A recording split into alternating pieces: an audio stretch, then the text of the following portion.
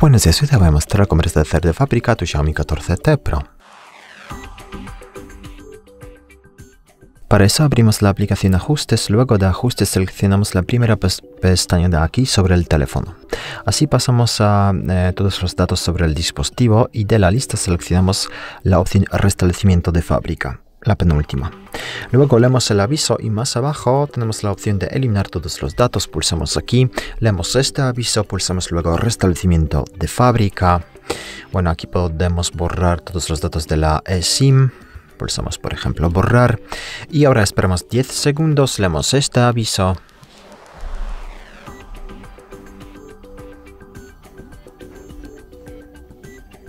Luego pulsamos siguiente, esperamos 10 segundos más.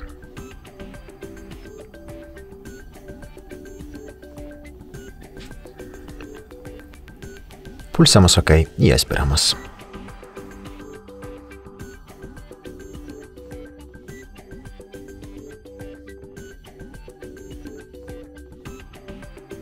Y como ves el proceso de restauración completo ya se ha finalizado. Muchas gracias por ver el vídeo, te invito a comentar abajo y suscribirte al canal. Hasta luego.